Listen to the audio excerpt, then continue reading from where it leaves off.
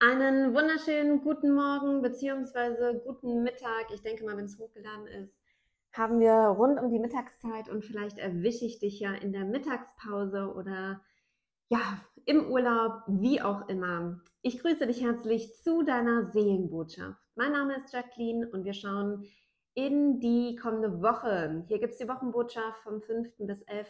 August.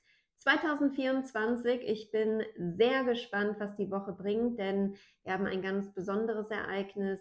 Ähm, nicht nur, dass der Neumond äh, die Energie noch nachschwingt im Löwen. Am 8.8. am Donnerstag haben wir auch das Lionsgate, das Löwenportal. Und das eröffnet uns eine ganz neue Energie. Wir sind in der Lage, diese Energie für uns zu nutzen. Ähm, wir spüren es natürlich sowieso, doch wenn du ja, dir die richtigen Fragen stellst, wenn du vielleicht die Trance-Meditation nutzt oder energetische Anhebung, dann kannst du da effektiv etwas für dich persönlich mitnehmen und zwar aufs nächste Level zu kommen.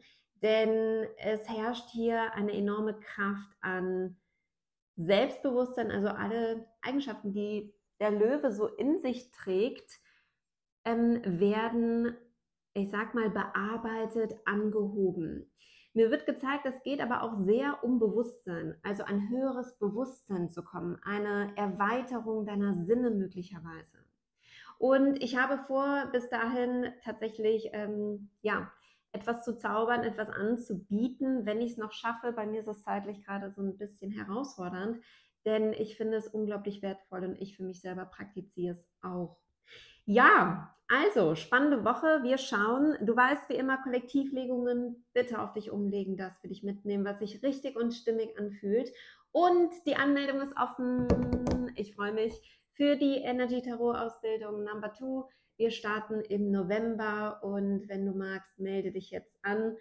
Ich äh, freue mich riesig. Ähm, eine weitere Ausbildung wird es ebenfalls nächstes Jahr geben, Start 2025 und das ist die Lightworker-Ausbildung. Da wird ebenfalls die Anmeldung bald geöffnet. Ja, aber wenn du Lust hast, das Tarot, das Kartenlegen mit deinen Hellsinn zu verbinden und vor allen Dingen der Fokus liegt auf diesen Channel Mood, auf deiner Intuition, dann sei gerne mit dabei. Und für alle, die heute beim Bundle mit dabei sind, also alles ist Energie und ich habe bewusste Energiefrequenzen, sprich, die natürlich mit gewissen Göttern, Tieren, was auch immer, es werden noch ein paar kommen, zu tun haben, auf spezialisierte Themen runtergebrochen. Das heißt, du kannst jetzt Energie dorthin fließen lassen, zu einem Lebensbereich, zu einem Thema in deinem Leben, um dort effektiv anzusetzen. Und immer montags und dienstags finden die Energieübertragungen statt, die jeweils in dem Wandel mit drin sind. Und heute haben wir wieder Naga, die Schlangenkraft, also alle, die mit dabei sind, heute um 21 Uhr. Dann haben wir Seraphim, da geht es um die Liebe, um die Verbundenheit, um die Selbstliebe, um das Herz. Und wir haben Lakshmi und Lakshmi, da geht es um Fülle, Reichtum, Glück, Wohlstand, also da in die Manifestation zu kommen. Und ja, falls du Lust hast, heute bis 20 Uhr, ähm, ja, dich noch anzumelden, einen Bundle für dich zu bekommen, da sind viele verschiedene Dinge, die du für dich nutzen kannst dann sei noch mit dabei heute. Ansonsten alle, die nach 20 Uhr ähm, sich anmelden, das Bundle kaufen, die sind einfach nächste Woche mit dabei. Wir starten jetzt mit der Wochenenergie. Ich verbinde mich mit dem Seelenkollektiv. Jetzt kommt hier Finanzen, ne? Also, aber ich tue sie nochmal rein. Ähm, vielleicht ein Hinweis für dich das ist hier die Lakshmi-Energie, ne? Fülle, Finanzen, Materielles. Wir schauen. Ich verbinde mich mit dem Seelenkollektiv mit der Woche vom 5. bis 11. August. 2024. Was ist die Hauptenergie, das Hauptthema in dieser Woche fürs Kollektiv? Worum geht's? Was ist das Hauptthema?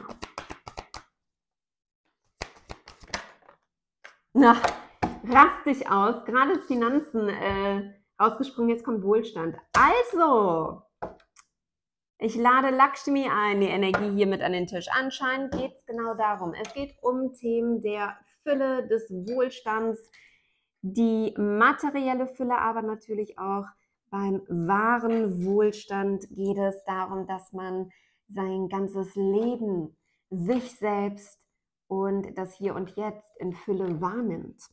Ja, ich bin gespannt. In dieser Woche dreht sich viel um Angelegenheiten, Regelungen bezogen auf Finanzen, auf das Materielle, auf Planungen in der Zukunft mit Finanzen und dem Materiellen und auch gleichzeitig um bei einigen von euch eine Investition.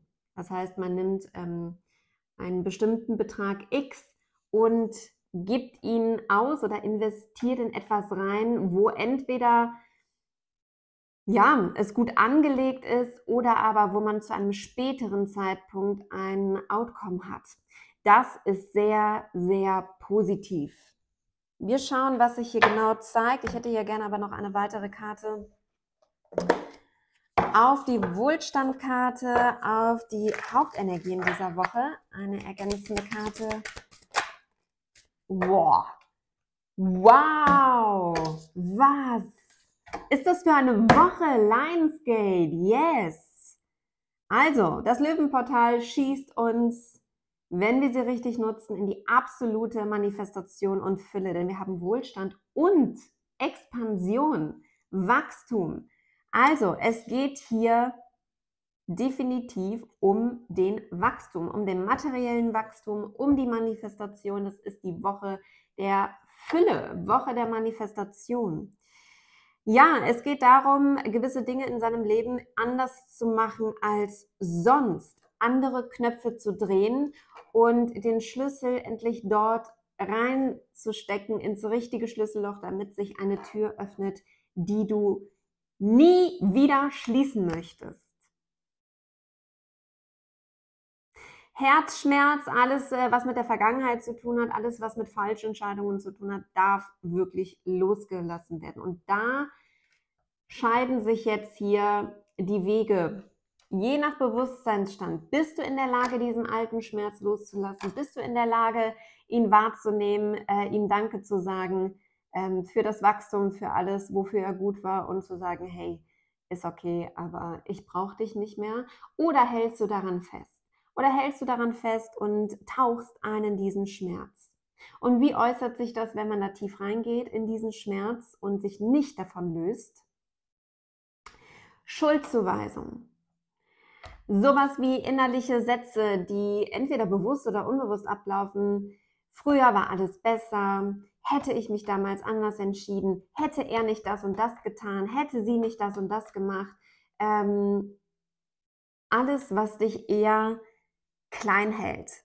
Wut bezogen auf andere Menschen, also wenn du wirklich, auch wenn du was Schlimmes erlebt hast, aber wenn du immer wieder in die Energie reingehst, das ist kein Wachstum. Bist du bereit, in Wachstum einzusteigen? Bist du bereit, dein Mindset zu ändern? Bist du bereit zu vergeben? Und wir sehen hier ganz klar, dass die letzten Wochen hier so ein bisschen auf Vorbereitung war. Ne? Heilung, Vergebung, also immer wieder, ja, wie so eine Wäsche, wie so auswaschen, dass der Schmutz immer, immer klarer, feiner wird. Und jetzt holt man das Stück aus dem Wasser und es glänzt wie neu. Etwas, was glänzt. Etwas, was man ansieht. Das kann auch ein Mensch sein in ganz neuem Licht, in einer ganz neuen Kraft und Energie. Ich höre gerade, in einer ganz neuen Kraft und Energie Lakshmi. Ja, das ist so ein bisschen diese Energie. Erkenne die Fülle. Halte die Arme auf und lass es reinfließen. Und vor allen Dingen habe Vertrauen. Vertrauen ganz, ganz wichtig. Und es geht nicht darum, dass du dir innerlich sagst, ich vertraue. Kennt ihr das? Es gibt ja auch immer so Menschen, die alles immer aussprechen. Versteh mich nicht falsch. Kommunikation, Wahrheit sprechen, absolut. Bringt Klarheit, bringt authentisch sein, bin ich absoluter Freund von. Aber es gibt Menschen, die sprechen Dinge aus, die es eigentlich gilt zu fühlen und auszuleben. Und daran, dass sie das immer wieder aussprechen, merken sie, das ist wie das Füllen eines Loches, denn es ist nicht vorhanden. So, genau wie jemand, der immer wieder betont, ich vertraue dir, ähm, ich sehe dich, ich mache das und das. Also wirklich immer und immer wieder. Und vielleicht sogar an gewissen Punkten, wo es überhaupt nicht passt, wo du dir denkst, hä, warum sagt der das jetzt, wo es schon fast komisch ist. Naja, das Ding ist, derjenige oder diejenige ist nicht in der Lage, wirklich zu vertrauen. Deswegen muss man das immer wieder mit dem Kopf abrufen. Also, gehe wirklich in diesen State. Gehe in das Gefühl von Vertrauen. Das ist ja nichts, was du dir einreden kannst. Entweder du fühlst es mit deiner ganzen Seele oder nicht. Und wenn nicht, dann hast du etwas zu tun, und zwar an dir zu arbeiten. Ganz einfach. Dich zu entwickeln, damit du genau dorthin kommst. Schauen wir. Eine weitere Karte bitte für die Woche. Worum geht's? Ergänzend, worum geht's? Hey, hello. Ja. Das ist wow. Wir haben hier die materielle Fülle und wir haben hier die emotionale Fülle. Ein Wachstum, ein großer Wachstum in hm, in einem Aufblühen, in einem Loslassen, in den Gefühlen in Verletzungen. Für jeden kann sich das hier natürlich, ne, dieses Wohlstand, diese Fülle, dieses Wachsen, dieses Ausdehnen, dieses I am, I am, äh, dieses Ich bin, ich bin und ich liebe es zu sein. Und das kann sich natürlich in jedem unterschiedlich auswirken. Wir stehen alle woanders und das ist okay, jeder in seinem Prozess. Doch hier in dieser Woche hast du die Möglichkeit, Next Level. Komm in deine Manifestationsenergie, nutze sie. Mega. Schauen wir in die einzelnen Tage. Ich lege nach der Reihe aus, Montag bis Sonntag. Wir schauen, was dabei ist. Yes. Wohlstand, Expansion. Ja, Jupiter, ne? Planet Jupiter. Frage dich, wird mir gerade durchgegeben. Frage dich, was soll groß werden in deinem Leben? Was soll groß werden in deinem Leben? Und frage dich, wie groß es bereits jetzt ist. Montag bis Sonntag, wir schauen in die Tage rein. Tagesenergien. Heutiger Tag, zwei der Schwerter. Dienstag. Mittwoch, Donnerstag, ja, Freitag, Samstag und da haben wir nochmal die materielle Fülle am Sonntag. Unterer Kartenrand, was geht weg? Fünf der Schwerter. Viele von euch ähm, gehen aus diesen ähm, sich klein halten für andere, anderen alles recht machen, gehen da raus. Und dieses Rausgehen könnte dem Umfeld vielleicht nicht ganz so gut gefallen, weil man dich so nicht kennt.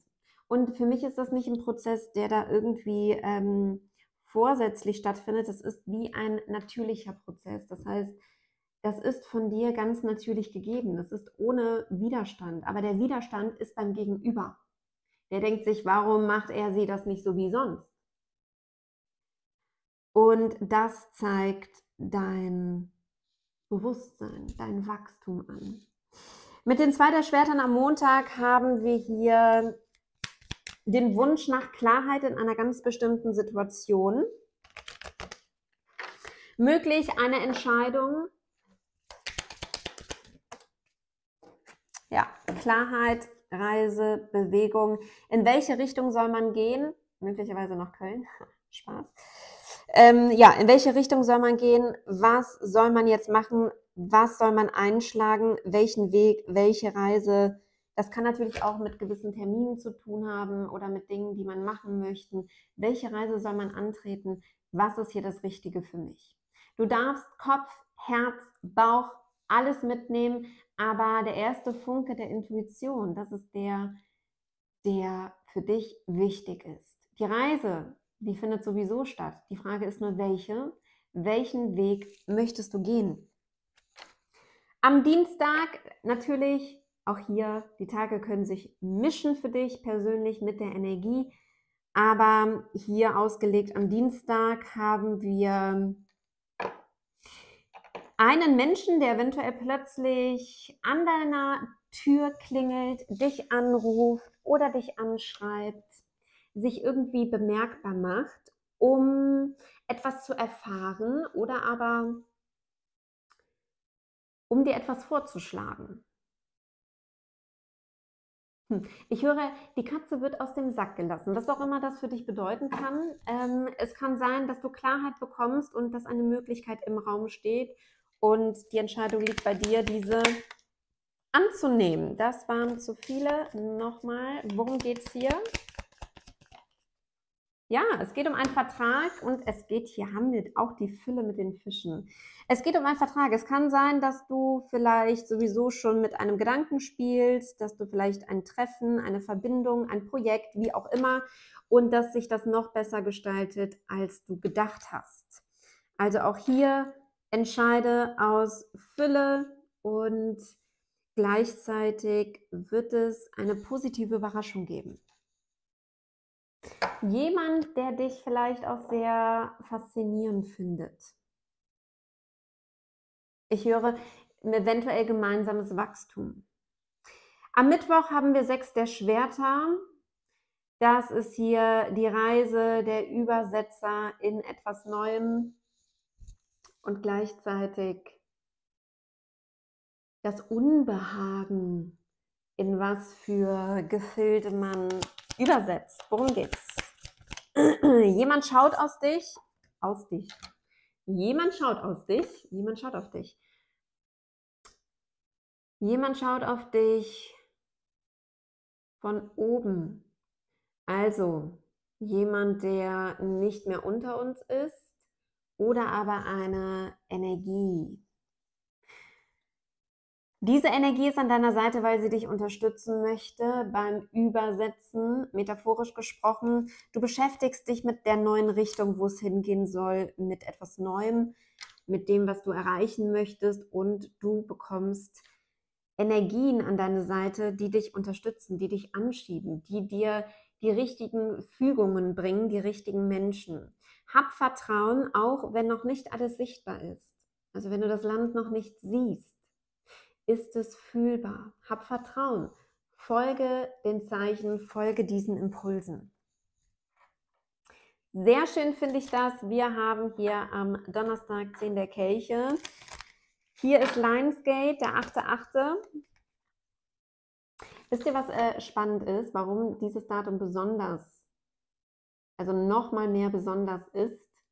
Denn der 8.8 hat ja mit der numerologischen Zahl 8 schon eine besondere Frequenz. Jetzt sind wir allerdings noch im 8. Jahr, 2024 Quersumme 8. Und das, ja, ergibt nochmal eine ganz, ganz neue Energie. Du bist in der Lage, in ein Portal einzutreten, wo du über dich etwas erfährst was dir so noch nie bewusst war. Was deine Aufgabe betrifft, deine Bestimmung, dein Sein, das, was dich ausmacht. Ich habe, ich muss das wirklich, ich hoffe, ich schaffe es. Es kann wirklich für sehr viele sehr, sehr nützlich sein. Eine energetische Trance, die dich genau dorthin führen kann, wo wir diese Energie nutzen und lenken. Ansonsten wirst du natürlich geleitet werden. Du bist hier begleitet von den Energien und ähm, nutze diesen Tag einfach ganz bewusst. Beachte alles, was dir passiert an diesem Tag, wie du dich fühlst, welche Menschen dir begegnen, wie auch immer. Also, du bist in einer sehr guten Energy. Wir haben 10 der Kelche und darauf die Sense. Du verabschiedest dich von allem, was nicht 10 der Kelche ist, sprich, was für dich nicht Fülle ist, was sich für dich nicht gut anfühlt. Jeder, der um die Ecke kommt mit irgendeinem Bullshit, sagst du Dankeschön, auf Wiedersehen, kannst direkt umgehen. Aber aus Liebe. Ist fein, weil du dir selbst mehr wert bist. Ganz einfach. Freitag die Hohepriesterin, einziger großer Arkana in dieser Woche. Die Hohepriesterin zeigt, dass du einfach sicher bist. Vielleicht, je nachdem, was du auch wirklich an diesem Donnerstag mit diesen Energien oder in der Woche erfährst, aber es zeigt, du bist auf dem richtigen Weg. Du fasst mehr Vertrauen. Du lässt dich führen von den Energien, von dem Feinstofflichen, von deiner Intuition. Du hast so ein bisschen den siebten Sinn, Vorahnungen oder einfach, dass du weißt, was gut für dich ist. Auf allen Ebenen, gesundheitlich, Essen, äh, Menschen, Umfeld, Orte, vertraue dir selbst. Das ist Fülle. Einfach intuitiv sich dahin zu bewegen, wo es sich gut anfühlt. Und dann wird es dir noch besser gehen. Und all das, wo es sich zusammenzieht, bleibe fern. Klärung. Auf die Hohepriesterin eine Karte. Der Neubeginn und die Veränderung. Ja, du bist dein eigener Neubeginn. Du bist der, diejenige, die die Entscheidungskraft hast zu sagen, ich mach's neu. Ich gehe neue Wege. Ich erfinde mich neu. Ich bin mir meiner selbst bewusst. Du planst einen Neuanfang und das kann, wie gesagt, für jeden unterschiedliches sein. Einen neuen Job, eine Reise. Das kann auch etwas sein, was damit zu tun hat. Neue Möglichkeiten, neue Projekte, eine neue Arbeitsstelle für jeden hier natürlich ganz unterschiedlich. Und dennoch hat es überall die Energie von neue Wege, und neue Wege der Manifestation haben wir hier. Ja, du bist bereit, ein Nest zu verlassen, und zwar das Nest des kleinen Kindes in dir. Das, was dich klein hält. Das, was immer sagt, ja, aber du musst in diesem Nest bleiben. Dort bist du sicher, das wird gehen. Für die allermeisten wird das gehen.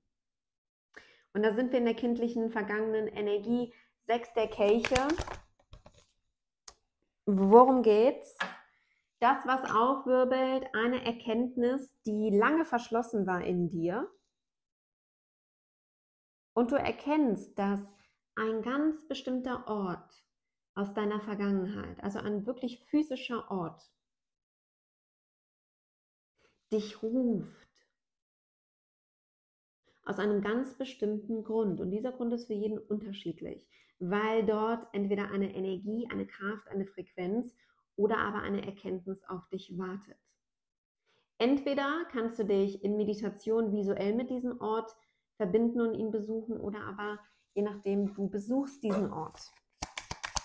Wir schließen mit den neun der Münzen ab am Sonntag. Jawohl, mit der Fülle und das ist der absolute Hammer, denn wir haben hier die Wunscherfüllung, den Stern und dich selbst, egal ob Mann oder Frau.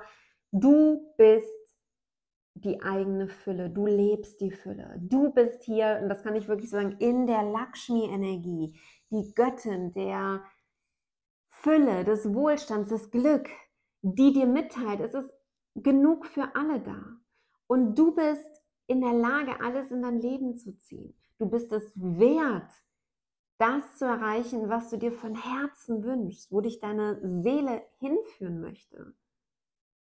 Und du bist immer reich. Du bist ein Geschenk Gottes. Und diese Energie, es wird dir bewusst werden, du wirst es fühlen, wie auch immer, in dieser Woche erhältst du ein ganz, ganz großes Geschenk und das könnte mit einem großen Wunschtraum zu tun haben. Etwas, wo du als Kind schon von geträumt hast. Und vielleicht ist es nur wie ein kleiner Türöffner. Vielleicht ist es eine Einladung zu deinem Wunsch. Vielleicht ist es aber auch das große Ganze. Eine Woche der neuen Wege und der Manifestation. Nutze diese Vibes ganz effektiv für dich. In dieser Woche hast du das Potenzial, in Fülle umzuswitchen. Und ähm, ja, das zeigt mir, dass ich definitiv da auch äh, mehr Zeit für mich in dieser Woche verbringen darf, denn das sieht großartig aus. Ein Rat des Universums zum Abschluss bitte. Ein Rat des Universums. Boah. Oh mein Gott. Ich raste hier vollkommen aus in dieser Legung. Jetzt mal ganz ehrlich. Jetzt, wir haben die Woche des Lionsgate und wir haben die Woche der Fülle. Wir haben hier die Woche von äh, materiellem, also reine Solarplexus-Energie. Jetzt fällt hier der Löwe. Waking the Lion. Erwecke den Löwen in dir. Und ich glaube, das tust du, so wie das hier aussieht, denn der Löwe ist der König. Ein weiterer Hinweis auf die Fülle, auf diesen Wohlstand, den du bereits besitzt. Öffne deine Mähne, erhebe dich und genieße das Leben und empfange. Also, die Botschaft hier, halte die Energie hoch. Beschäftige dich mit, mit allem, was dir in den Sinn kommt und habe genug Selbstbewusstsein, um deinen eigenen Weg zu gehen. Weil wir hier so in dieser Energie sind, verbinde ich mich jetzt wirklich mit Lakshmi und möchte eine Karte, eine Botschaft von ihr bitte für die Woche, für die Legung. Eine Botschaft von Lakshmi.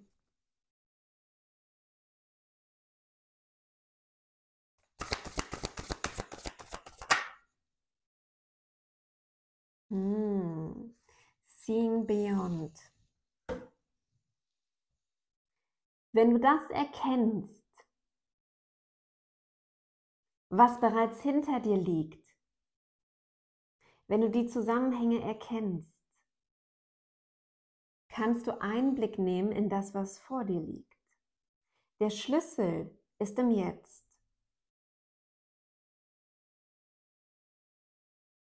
Du bist vor einer großen innerlichen Wandlung in das Absolute, in deine Manifestation, in einen Bereich in deinem Leben, wo du es vielleicht für gar nicht möglich gehalten hast. Es geht hier darum, dass du erkennst, wie kostbar du bist und dass jeder aufgetankt ist mit einem Nektar.